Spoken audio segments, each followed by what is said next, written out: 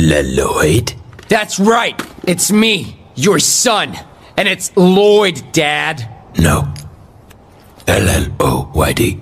I named you. You ruined my life. How could I ruin your life? I wasn't even there.